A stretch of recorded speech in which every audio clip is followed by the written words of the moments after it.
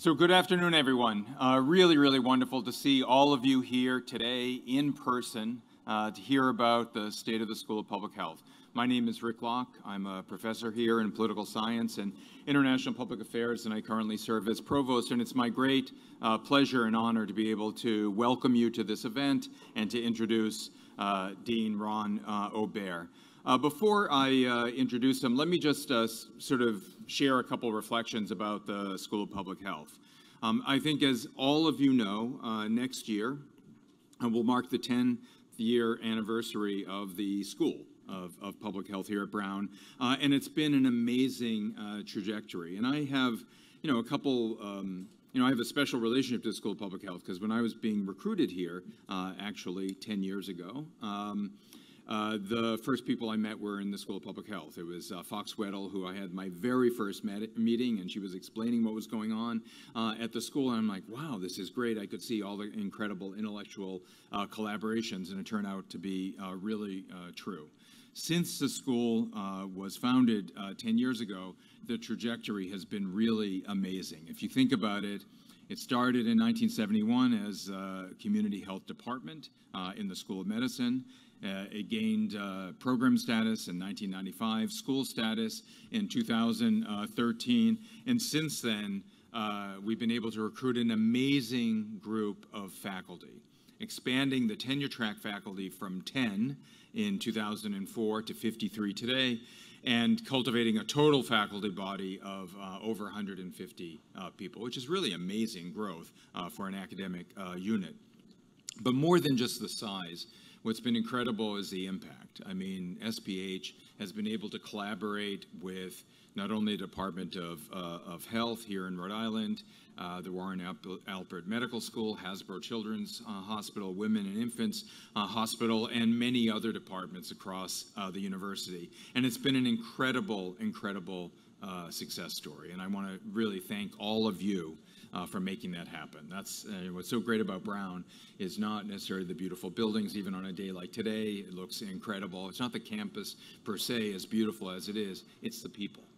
Uh, and it's the quality of the people and it's the quality of the work uh, that's being done and uh, through the people the incredible impact that brown has through you uh, in the world which has been really great um, I want to just uh, thank Ron uh, for stepping up uh, in his leadership role and really hitting uh, the ground uh, running. Um, today we have an amazing uh, leadership team with Ron, with Megan, and the whole group working so well. And the indicators of success are incredible.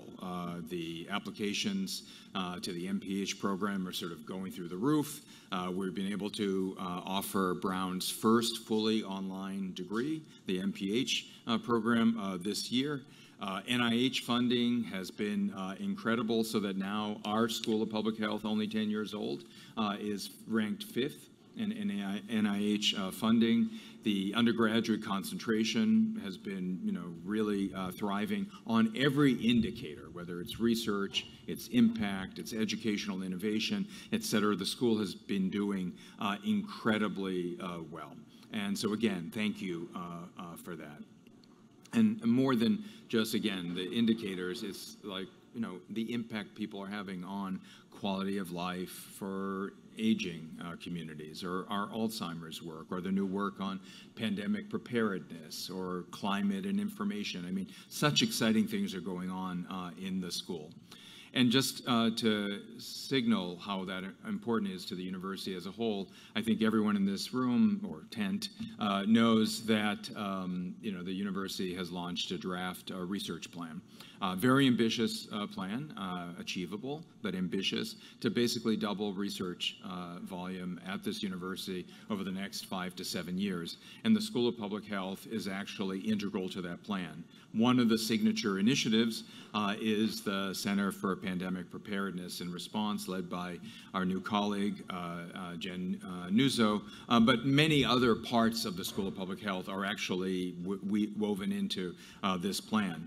This is going to be incredible for Brown. You know, if we're able to achieve this plan, which I think we will, in the next five to seven years, this university will have a research portfolio that equals that of Emory University or the University of Chicago, but still remain that sort of distinctive place that pays attention to undergraduate education, interdisciplinary collaboration, and through our research and teaching, really trying to fulfill our mission of uh, to have a positive impact in the world. That's what I always think about Brown, is that it's such an important purpose-driven organization that always returns to those values, and through those values has the impact. So I want to thank you all for being here, and now let me uh, welcome to the stage our wonderful uh, interim dean, Ron Aubert. Ron.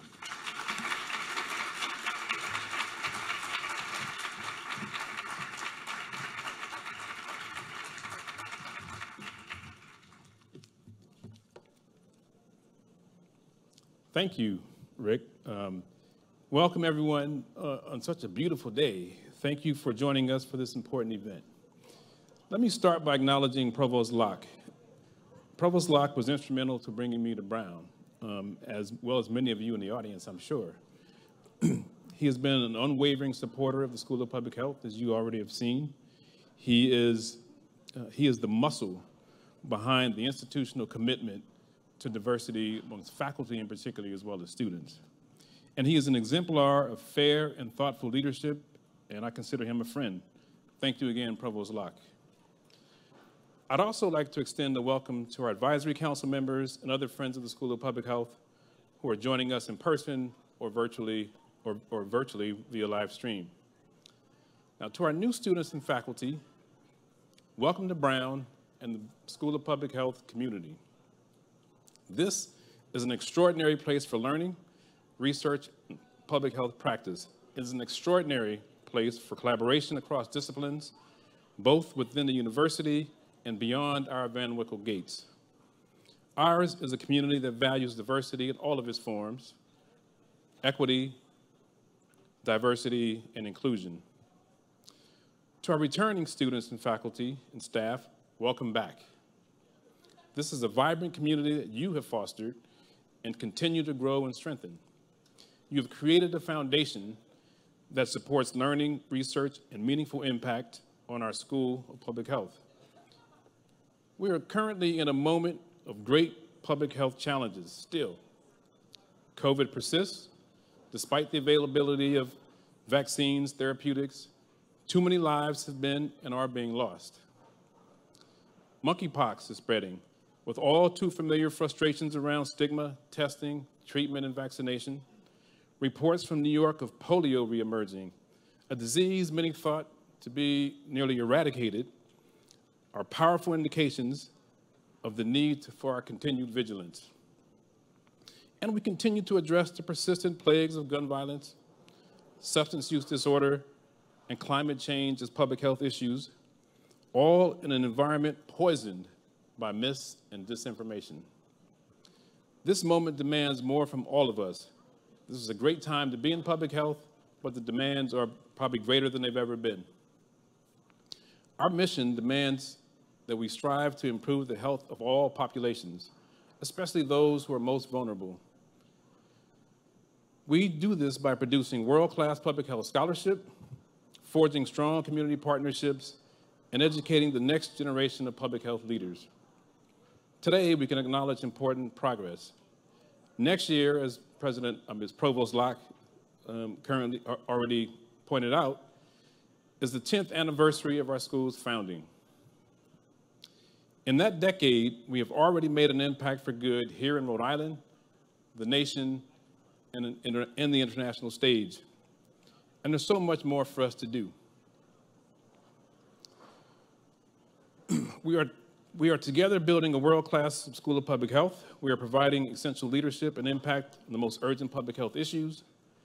We are making progress because of you. You have done amazing things. We are building on a strong faculty and student body by recruiting more of the most creative, innovative scholars and researchers and providing them what they need to be transformational. We are growing and continue to strengthen our identity with record-setting fundraising and plans for expansion in the coming years. We continue groundbreaking work through collaborations on aging, children's health, data science, opioid use, and so, so many other things. And we're launching new initiatives around pandemic preparedness, mis and disinformation, climate change and health, and health policy. We're finding new ways to study, teach, and practice public health, not just because we have a passion for this work, which we do, but we have to. The demand or the challenges of our day demand it. In a short while, we'll talk with a few of our public health colleagues who are deeply involved in pandemic response, preparedness, and prediction, and we'll learn more about the impact of the School of Public Health, how, how the School of Public Health is having in these areas. At the forefront of some of these persistent public health issues is Academic Dean Megan Ranney, who brings medical and public health experience to her role. She is an ER physician and a researcher whose work lives at the intersection of digital health, firearm injury prevention, and population health. She is also a co-founder of what can be described as a movement, Get Us PPE, which delivered more than 14, 17 million pieces of personal protective equipment to healthcare providers around the country at the height of the pandemic. She is a frequent media contributor, a clear voice for clear, data-driven communication in public health issues. Please welcome Dr. Ranney, who will provide a deeper view of how we study, teach, and practice public health to have greater impact. Dr. Ranney, or Dean Ranney, excuse me.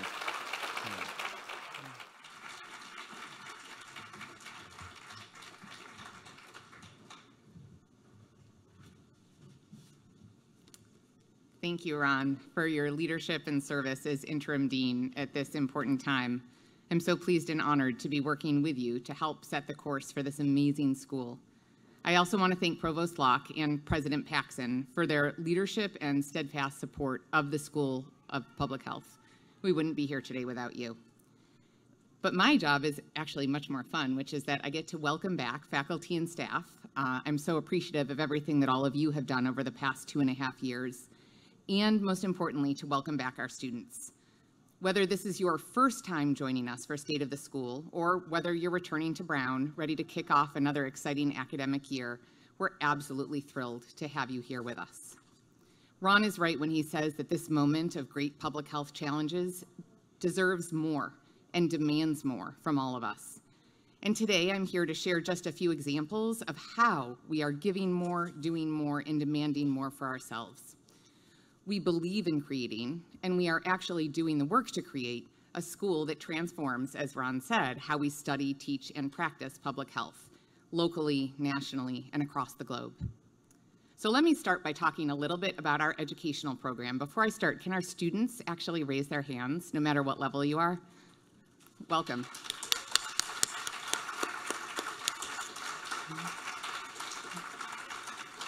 So excited to have you here. You are what makes Brown Brown, as Provost Locke said.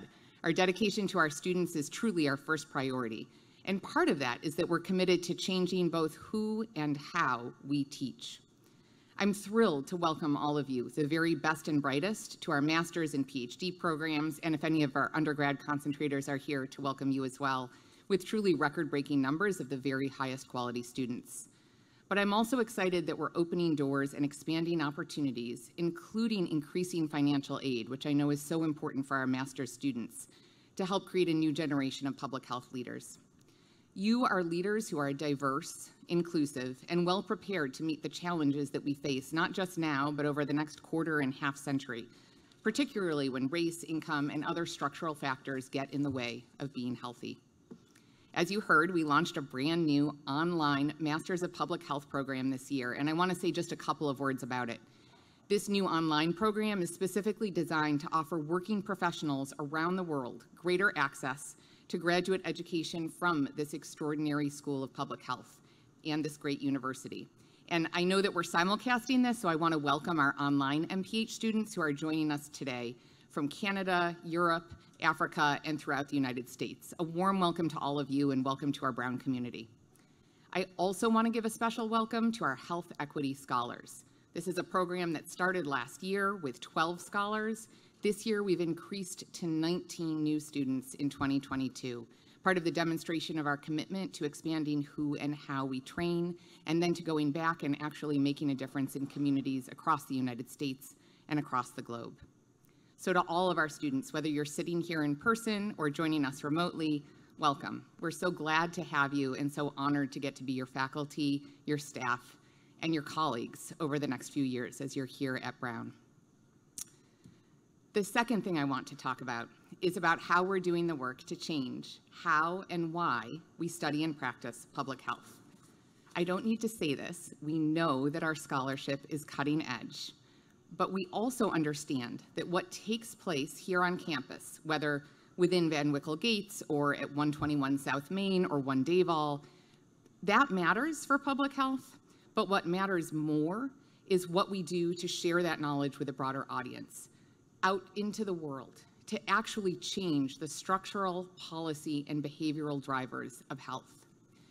On this important action and on these important issues, we are truly breaking new ground. It is what keeps me here at Brown. It what makes me so proud to be Brown faculty and so proud to have this academic dean position. It's looking at all of the ways that our faculty, our students, and staff are going out and actually changing things. So let me share a few highlights for those of you that are newer or who may be less familiar or who don't know what your colleagues are doing. This is a snapshot. This is far from the full picture, but it's a few things that I wanted to call out this year. First, our faculty are exploring new and broader views of what public health means. We're considering the structural and social aspects of epidemiology and, and social science in ways that are not always typical for schools of public health. We're examining, for example, the impact of noise pollution, impact uh, access to green spaces, housing discrimination, uh, racist policies on the health and resilience of communities, and are looking at how to change those. Another example, we're leading national and international efforts to develop and evaluate new diagnostic methods for identifying disease. For example, we're using really cool advanced data science methods to better identify cancers early and accurately. And I want to give a shout out to the folks that are doing that.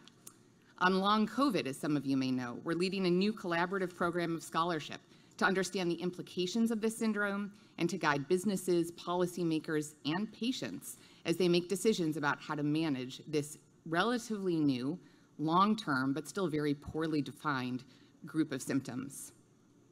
And our scholars are, of course, studying how to make existing healthcare policy work better and how to change it for the future, whether on Medicare Advantage or long-term care facilities to maximize health for all.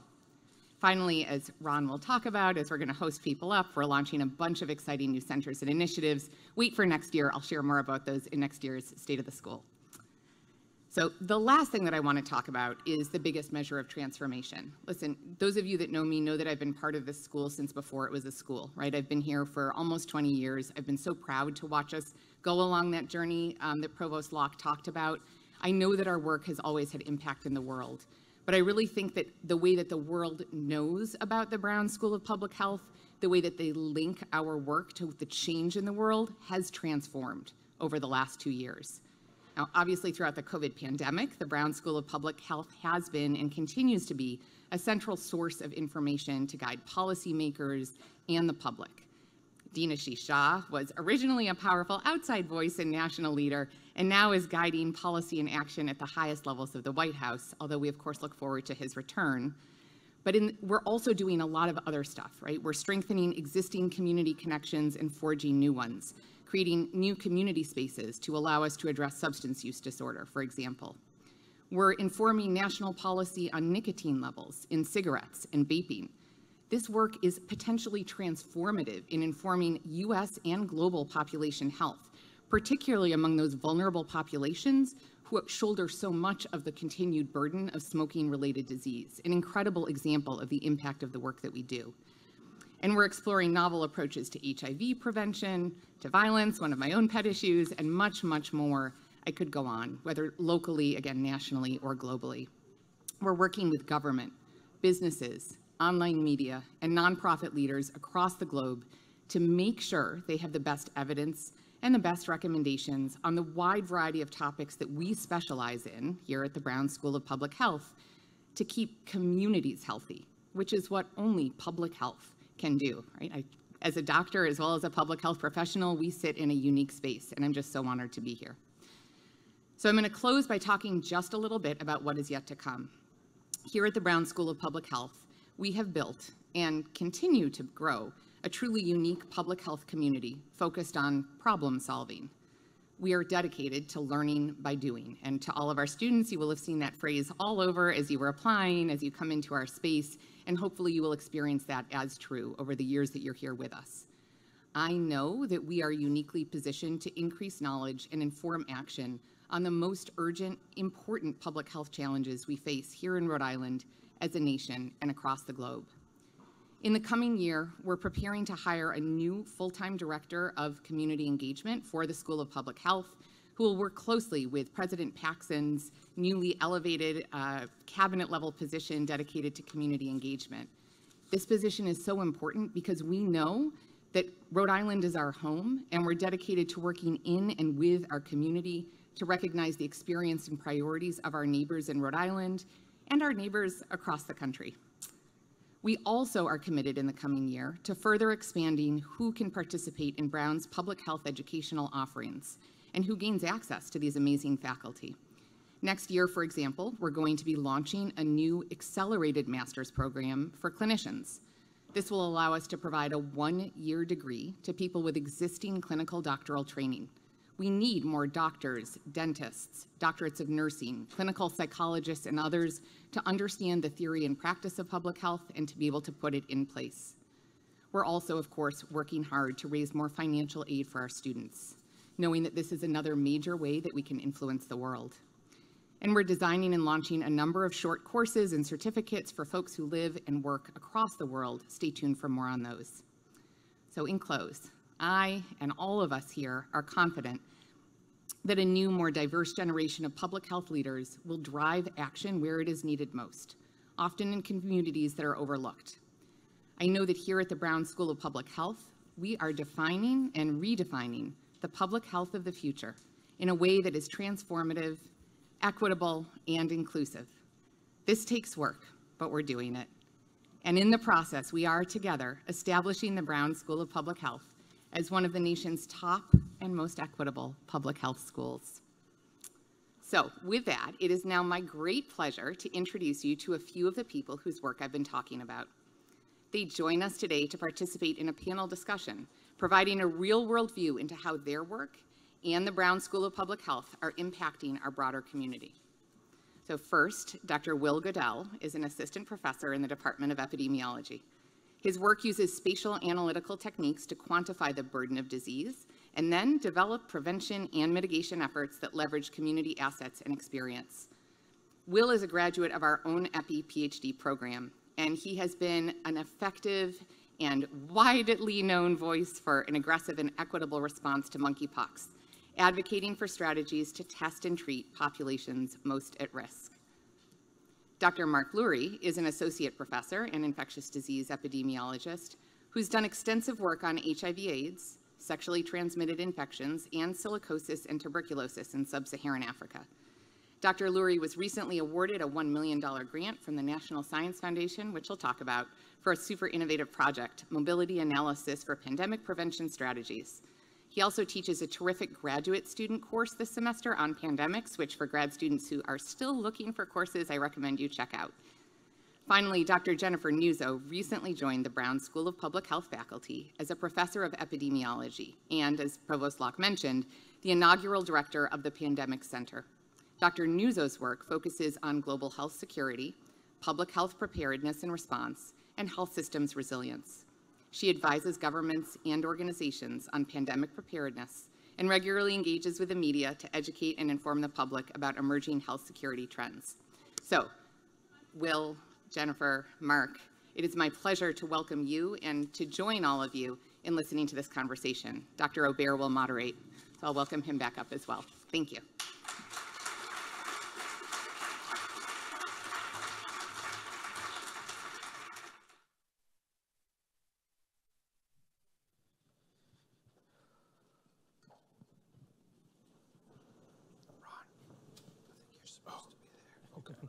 ask me why. Okay. Thank you, Megan. Thank you, Jen, Mark, and Will for joining this discussion. So our goal this afternoon is to allow these three amazing leaders to share with us their view from the front lines of public health and importantly, the Brown School of Public Health. Dean Ranney and I have provided an overview of our guiding principles and public health challenges we face and how we are working to meet those challenges through education, research, knowledge creation, and sharing. We're opening new doors to a diverse group of future, health, of future public health leaders and to established practitioners who need to know more. Let's talk about how that's happening and the impact it's having on campus and beyond. So the first question, we are still fighting the COVID pandemic while facing new threats from monkeypox and now the reports of polio in New York. Do we have the data and information we need to meet these challenges? Mark, I'm gonna start with you. I think you know my answer, right?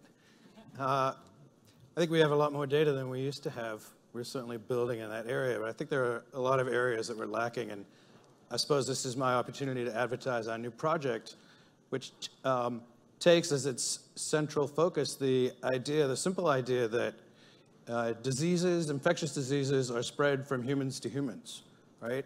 And unless we really understand the ways that humans interact, we're going to be doomed to policies that are very broad, that impact all kinds of behaviors that are not necessarily behaviors that are likely to be involved in transmission. If we, on the other hand, are able to systematically understand the, the context and the environments under which different people interact, then we have the opportunity to target interventions that are specific to those kinds of behaviors. And, and I think we're really using data in its best way. And that's one of the things we're trying to do in the center is to harness data, particularly around mobility, uh, population movement, and social interaction. So we're working with um, people in public health, of course, but also uh, people in uh, engineering who are designing devices to, uh, whether wearables or app devices, to measure social interaction that are going to be important for us in our project to then feed into our mathematical models to predict future pandemics and to try to prevent them. So I think that's one example of kinds of data that we still really need to be able to make really smart, informed, and targeted decisions. Great. Um, Will, do you have anything else you want to contribute to that? Yeah, I would say that often when we're talking about data-driven decision making, we're talking about data that is generated from clinical settings or generated in the academy, but that the communities of people that are most directly impacted by these new challenges bring a lot of knowledge and, and, and data of their own that we need to equally respect. Um, whether it's a new challenge that we haven't seen before, like COVID, or an re-emerging challenge like monkeypox or polio, we know that uh, epidemic diseases tend to follow along the cracks in society, and we know that there are communities that are made structurally vulnerable that are going to hit, get hit first, hit hardest, and come out of a surge last. And so regardless of what the challenge is, we know that we have enough data and enough history to show that we know where we need to start most often, whether that's in, in low and middle income countries that have been under-resourced or deprived of resources, or whether that's in the US and our communities that are uh, marginalized by race or by socioeconomic status. We know that we have to start there first. So at least that always gives us a, a, a better insight into sort of where the needle in the haystack should be when we get started. Jennifer, you're charged with launching this new pandemic preparedness and response center. How does this question fit in? How do the responses fit into what your goals are going to be for the center? Um, so it starts with data. I mean, it absolutely starts with data. And it starts with the data that we do have, which is the fact that these infectious disease emergencies that you very aptly listed um, in the opening remarks are increasing in frequency.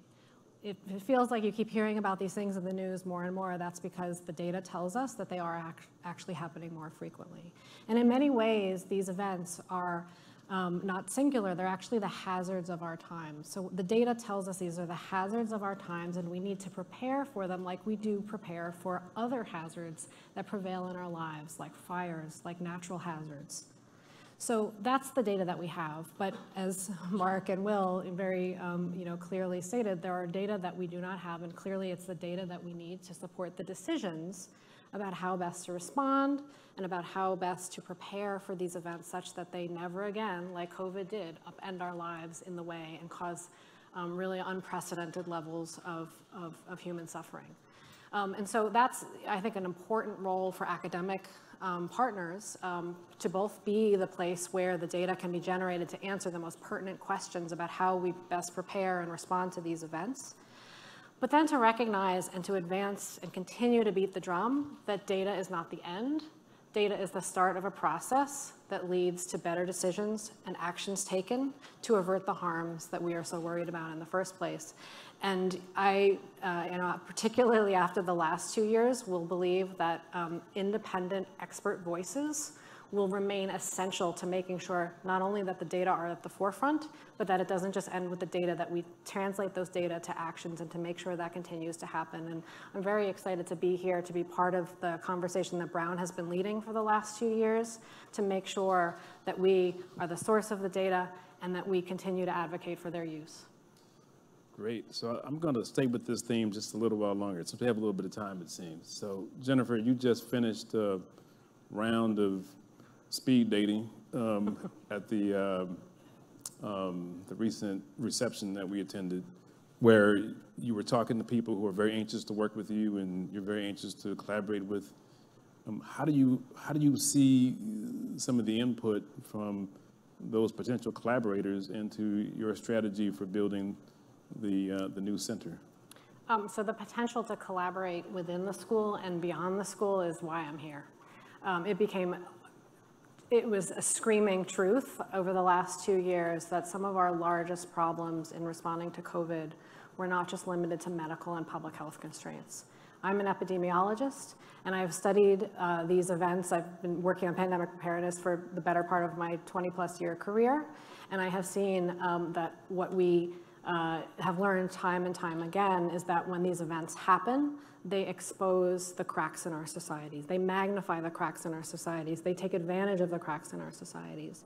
And so if we only prepare for these events from, say, you know, trying to deal with the pathogen and not the context in which the pathogen is exploiting, uh, we are going to fail. And that's clearly what has happened in the past two years. So um, it is really important for people who have worked on these issues from the medical and public health lens and epidemiologic lens that I've worked on to make sure we have connections to the broader communities, to, to the broader levels of expertise, so the social sciences, history, the humanities, economics, political science, to make sure that what we are planning uh, makes sense for the communities, makes sense for what we've learned throughout the years, um, and that it is sufficient to meet the needs of, of the people that we are hoping um, to meet them. So I'm absolutely thrilled. It's the reason why um, I picked my family up and moved them to the beautiful state of Rhode Island um, to have conversations uh, with other expertise that I didn't have um, if I were only collaborating within a, the walls of the School of Public Health. Mark, you uh, mentioned in your remarks that um, your project, the NSF project, is, is a collaboration with the School of Engineering. Now, now, in terms of Providence FAR, that's as far as you can get from the School of Public Health to across campus. so how did that collaboration come to be and how did, how did, how did you all come together to decide that, that you were going to work together to address this particular issue? It's a really interesting question because we, we often talk about, you know, the need for collaboration. I think we all embrace multiple uh, viewpoints that you know add to a solid collective idea of what it is that we're trying to address. Um, actually, this collaboration came about because it was structured and required. The um, the funding institution required, as they were setting up new centers to predict and prevent future pandemics, that there were four disciplines at least that needed to be involved: public health, uh, engineering, computer science, and uh, mathematics. And so we built our idea around that because that was the structure of um, what the call for proposals was. But in fact, it was an amazing opportunity not only to collaborate across Brown with people who I never knew I shared interests with, uh, but who have unbelievable things to contribute. Um, people who are deeply involved in modeling pandemics, um, sitting in engineering department. Um, but more importantly, to be able to build on their skills that uh, contribute to our broader project. So for instance, I mentioned the engineers. Um, uh, the engineering uh, component of this project, amongst other things, involves trying to develop new technologies to measure the kinds of outcomes that we're interested in. Population movement, so your kind of geographic footprint, and your interactions with other people. Um, so we have um, a, a, cohort of 24 um, engineering students who have signed up this year as part of their capstone project, who are going to be working closely with faculty who are part of MAPS, but also engineering faculty, math faculty, and others who make up our uh, center, uh, and going to be working specifically to develop that device, that app that is then going to be used. So, so I think um, across Brown, there are these pockets of people who are doing incredible things, and this was uh, an opportunity to, to really exploit that um, in the best way, and that's one of the reasons I'm so excited about this project. For years, I've been collaborating with people in, in our building in public health, and that's been fabulous and rewarding and, and, and you know, hopefully somewhat groundbreaking in some way, in some small way. Um, but honestly, the opportunity to collaborate now across the university is just a whole new horizon for me and, and a whole new opportunity that I'm really excited about. Yeah, and, I, and excited to get students involved in too. I would just like to point out that that collaboration has led to another, which is around aging, and, that, and, people are very excited about that, and that would also include the School of Medicine. So it's very exciting to see these sort of connections being made. And then, Will, I know one of the things that you do, as well as research, you're you're you're going to be one of our, if not already, one of the master teachers in the School of Public Health. So, a quick question for you is, as all this starts to evolve, how do you sort of take this information, build it into the foundational classes, and respond to a changing or diversity of students that will include more humanities students, more engineering students, more uh, students across campus, uh, not just students of public health? Yeah, that's an interesting question. Right before I got to this event, I was teaching, I teach our undergraduate introductory course in epidemiology, and I'm teaching it for the first time this semester. And one of the sort of guiding principles behind my course design is that how I see it as an epidemiologist is that epidemiology is a set of tools that we have. It is not any one topic area. It is not applicable to only certain health issues and that in all of our training efforts, we need people to see that our public health tools are applicable to any challenge that they are going to be facing. One of the things that I really try to center in my teaching as an epidemiologist is that they can apply things to classical infectious diseases that the history of epidemiology has traditionally focused on. They can focus on chronic diseases, but they can apply it to social issues too. And I hope that our students can start to see that whatever it is that is of concern to them in their community, they can apply these tools for. And on the other hand, it's also creating opportunities for them to do that in applied way so that they can see from the beginning that it translates directly into practice. Uh, I teach a graduate level course in spatial analysis. That's my methodological happy place as an epidemiologist. And um, one of the one of the sort of guiding elements for that course is that it's done collaboratively with our local health department. We have tremendous, brilliant minds at our Rhode Island Department of Health that I adore working with, but they don't have enough hours in the day to do all of the things that they need to do to generate all the insights that they need to generate. And so that course is set up in a way so that programs at the Department of Health can say, we have you know, needs for spatial analysis in our program. We don't have time, we don't have the skills. Can this be something that your students work on throughout the semester? They gain those skills, and the product goes directly back to the health department. It's not just a class assignment that they get a final grade on and it's done. It sort of takes on a life of its own once it's there, and I hope we can develop more of those kind of practice-based opportunities for our students so that they can see where their skills go. Um, in the future, and that it takes all kinds of people to, to build the kind of public health we want to see. And honestly, to rebuild public health, it was public health departments were emaciated pre-COVID, and they've yeah. only been further devastated. And so, getting people excited to want to jump back into that part of our field is, is a big priority for me. I think as an educator, because uh, we we need it. We need strong local, state, and federal and global health departments to be able to do everything that we need to do. Yes, that's a I love that response. So the second question is we're working, we're working hard to build a new generation of public health leaders who have deep lived experience in communities that have been left out or left behind. COVID exposed longstanding disparities in our public health system. How do we address these disparities? I'm starting with you, Jen. I know this is something you're very passionate about. Yeah, and I just, I have to react to what you just said because it's really extraordinary. And um, that, in my view, is the future of public health education, public health practice. I think all schools of public health will eventually be there, but I'm so incredibly proud that Brown is leading in that direction. And that actually, I think, is a nice segue to the question that you asked, um, which is how do we address this? Um, you know, COVID is an unfortunate magnifying event it magnified uh, our already existing um, health disparities, um, but it also magnified attention to these issues. We need to continue to increase the attention. We need to continue to increase the progress.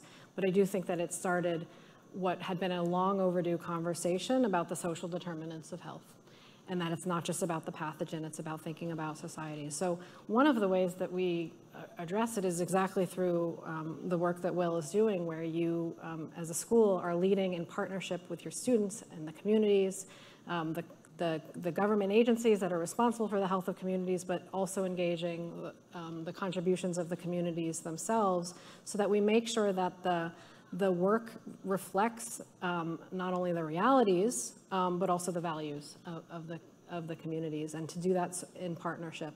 Um, and I think that that's really going to be the future.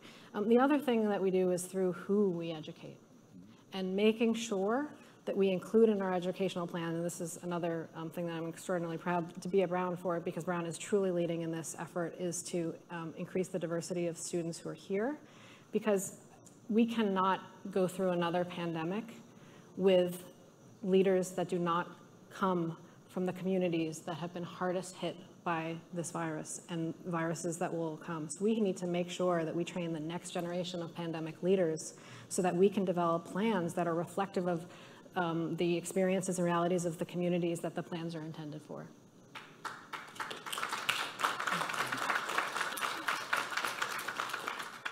Will, do you have anything else? I mean, that was a pretty comprehensive. Yeah. it's, it's, hard to follow, Jen. Um, one of the things that I think a lot about, so I'm a, I'm a COVID baby as an epidemiologist, you know, I graduated kind of into this, and so it's, it's the only world I know as a, as a professional at this point, um, is that community leaders have the power to have the capability to understand a lot more data than we give them credit for. Um, it's some of the initiatives that I think I'm most proud of during my time at Brown. I want to give a big shout out to my team in the People, Place, and Health Collective. One of our kind of hallmark sets of initiatives is making data dashboards that are for community leaders specifically, making sure that our community leaders know some of the common epi speak. They know the difference between a count, a rate, and a percentage, and can use those effectively. They come with so much knowledge and information on their own to be able to say, I know someone in my community that is really struggling with this health issue and that if they know where to go to get data to say there are a thousand other people in my neighborhood that I know have this same experience, they can demand more of the agencies that provide services to them. They can demand more of the governments that are supposed to be providing for them. And it's always my hope that we, as sort of the data people, can be providing sort of the data sound bites that go along with their advocacy you know, I was, I was at the Society for Epidemiologic Research annual meeting back in June on a session on science in an age of anti-science, and Sharrelle Barber, who's a professor at Drexel, mentioned that one of the most important things we can do as scientists is sort of be the footnote to movement work. We don't have to be the ones that are on the front lines deciding what changes need to be made, but we can be the ones that provide the data to back up what changes community leaders want to see for themselves.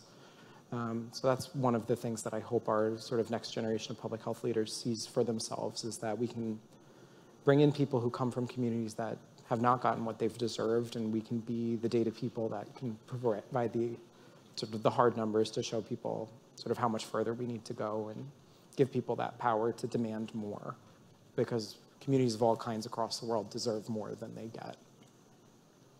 So you opened up the stage for this next question, and in this age of pandemics, communicating is an essential skill set to public health. Communicating science, communicating public health issues, um, we're asked to be the messengers and advocates as well as researchers and practitioners. What role will communications play in the lives of the future public health leaders that are here today? What advice would you give them? Um, I'm gonna start with I'm gonna start with you, um, Mark.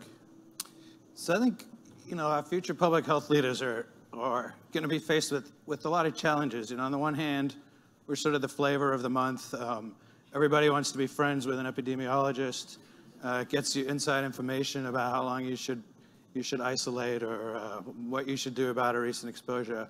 Uh, on the other hand, we're under attack more than ever before, and I think that presents a real dilemma, but also you know an opportunity to really um, emphasize the, the values and the way that public health and epidemiology in particular um, is, is a discipline that, that can contribute in a positive way to, to our prevention of future pandemics. And, and that's around, you know, an honest an open conversation about what data really means and, and what science really is and, and what denialism is. And I think we have a long way to go um, before we, as public health uh, people, are, are, really skilled at being able to, to hold that conversation in a really meaningful way. So I do hope that, hope that our future leaders are, are, are going, to, going to help us, to guide us through that, because that is a difficult conversation. And I know for myself, uh, despite training at a very good institution, uh, we never learned public health communication.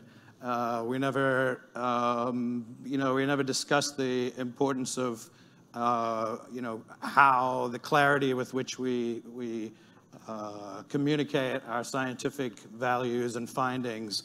Um, that was something, you know, that was not a part of your training. And, and, I think it's a positive step forward that we, we do have that in the School of Public Health and increasingly are bringing in people with expertise in that area who are able to train our future leaders to be able to take on that challenge. Yeah, I think if you and I had been trained, Mark, I don't think it would have mattered because the landscape is so much more complicated now. And I think that's why one of the great things about being at Brown now is this emphasis on information disorders with the Information Futures Lab, where the focus is on how to address myths and disinformation. Um, and so back to you, Will, since you're the classroom guy. Well, not not the only one, but I want to I want you to sort of sort of wrestle with or, or, or help us sort of sort of walk through for our the future public health leaders. Mm-hmm communication is going to be such a huge part mm-hmm. of how they perform as a as a public health practitioner and a public health um, leader. So tell me, what how do we how do we get them ready? Because you know now we're talking the whole social media framework that they have to be familiar with. Mm-hmm. What, how how do you how do we sort of work that into the training of, of the future public health leaders? I think part of it is making sure that we're encouraging people not to be afraid of it because the landscape is so massive and it changes so quickly and things can be misinterpreted very, very quickly. And so we need to encourage people to take it on head on, look to our experts in the social sciences that are the experts on how to communicate to people. You know, we might not have all the answers in public health about how to be effective communicators, but there are scholars in the humanities and the behavioral sciences and social sciences that know how to craft a message and get it out there. Um, I think we need to be fundamentally thinking about how we are asking students to show off their skills in our classroom, that sometimes that 15-page paper is not the right way to have them show off that they know how to translate or summarize research findings, and sometimes you might want to actually have them summarize it in a Twitter thread or something like that. I think I'd encourage all of our faculty to not be super scared of these new modalities either. Um, we've got to figure out how to tackle them because the the side that's working against us uses these tools very, very effectively. Yeah. And that means that we can also use them very, very effectively to get back at them. I think the other piece of it just fundamentally is ensuring that all of our trainees maintain a broad imagination in terms of what's possible we can't be putting limits on what's sort of possible as a public health action. Um, we've got to be communicating for what is right and necessary, not what's logical or serves the majority of people who are the least vulnerable best. Um, I don't know. I think there's a lot to think about in terms of communication exercises, but that it needs to be incorporated into every corner of our training that it's not just did you do the science well? It's it's did you say it in a way that gets to the person who needs it who needs to hear it? Anything else to add jennifer? Yeah i mean i, I really appreciate what you just said. I mean i think for me one of the privileges of what has been incredibly difficult um, past two plus years has been the opportunities i've had to communicate with um, you know, directly hundreds, I, I've lost count of, of people. I mean, all manner of people, various different groups, different sectors, from the Kardashians to QAnon. I mean, really, I've been able to connect with people um, across, and it's been extraordinary because uh, to, to, me, it's been one of the most meaningful aspects of this pandemic is just to, to be in the lives of, of people during this time. Um, so I, I, think communication is incredibly important. Communication is probably one of our most important public health interventions. Um, but I think there are some lessons from the past two years. Um, one is that communications is not a shortcut to engage, for engagement, right? We, we need to engage with communities, we need to build trust, we need to serve communities. So that has to be the basis. And then, of course, communication is the way that you can continue to work with them and to serve them. Um, poor communications can evaporate trust in a minute. And so that piece, I think, make the stakes quite high. And it's one of the reasons, and I'm glad you mentioned sort of the social science research, that we need to make communications a discipline, and it is a discipline, but we need to continue to expand it and invest in understanding how to message and what messages work and how to engage and how to engage in communications. Um, and that's just something that I hope the sort of future of the field will continue to invest in so that we can expand the evidence base for effective communications. I will also say that the, the landscape has changed, particularly from a social media perspective. And it's been humbling to me to possibly think that some of the greatest impact I've had have been through tweets and op-eds than any of the scholarly papers that I've written. Uh, that is just the world that we live in. Policy is often advanced in 140 characters. Um, so I really do think that we have to teach how to use these tools effectively. And um, while we're doing that, I think one important uh, truism of public health is that it should always start from a place of empathy. And so while social media perhaps rewards attacks and you know snarky comments, I'm, I have not seen any evidence that that's the way to advance change. But starting with empathy, growing the field, elevating the voices that need to be elevated and not necessarily attacking the voices that you disagree with, in my view, has a, a better path to, to sh a shorter path to change. So I was speaking with a student right before uh, this session, and um, one of the things that I was telling, we were going back and forth about some of the new things that are happening. You're getting a taste of that now. And uh, the student will be a, is a junior this year and is very happy they're not a senior because they're looking forward to all the things that we have to come. Um, and so it's a great time to be in public health. I think, um, and the student was, was saying that he's very, very happy that he's here. Um, and you got a sense of that and a taste of that through this panel. So I want to thank you all for contributing so much to today's discussion. Thank you all for joining us in person and online. And I invite you to join us now at the back of the, back of the tent for a reception celebrating this day, our school, and the year ahead. Thank you.